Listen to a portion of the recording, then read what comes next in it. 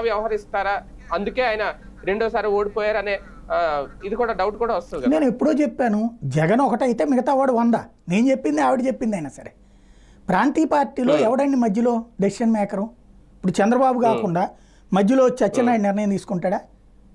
లేకపోతే పలారా ఆయన తీసుకుంటాడా నిర్ణయం? వాళ్ళు ఏంటంటే కొంచెం డ్రమటైజ్ చేస్తారు ఏదో తాము తీసుకున్న నిర్ణయాన్ని మిగతా వాళ్ళతో మాట్లాడినట్టు బ్రే- బ్రేకింగ్లు ఏం రాస్తారంటే నాయకులతో అందుబాటులో ఉన్న నాయకులతో సంప్రదించిన చంద్రబాబు ఈ నిర్ణయం తీసుకోమని వాళ్ళు సలహా ఇస్తే ఇట్లా తీసుకోమన్నారు. ఇట్లా రాస్తారు. నిజంగా చంద్రబాబు డెసిషన్ కాదనేటట్టయితే ఎన్టీ రామారావుతో గొడవ ఉంటుందా? బేసిక్గా పడండి అని చెప్పి కార్యకర్తల నాయకులు చెప్పేవాళ్ళ? డెసిషన్ మేకింగ్ అనేటటువంటిది ప్రాంతీయ పార్టీల్లో ఒకటిదే ఉంటుంది.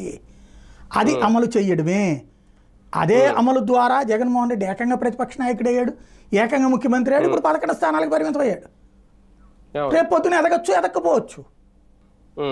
ఇప్పుడు అతని రిస్క్ అతంది అతని ఆశయాలకు అనుగుణమనే కదా నువ్వు వెళ్ళింది. ఏ పార్టీ అయినా సరే. ఇప్పుడు ఆ పార్టీకి వెళ్ళిన తర్వాత నువ్వు ఆశయాలకు ఇష్టపడ్డావు. లేదు నచ్చలేదు. ఇప్పుడు నన్ను ఏ పార్టీ అని పిలిస్తే నేను పోను. ఎందుకంటే నాకు నచ్చట్లేదు ఏ పార్టీ కూడా. ఒక పార్టీలో ఒక లోపం ఉంది ఒక బలం ఉంది.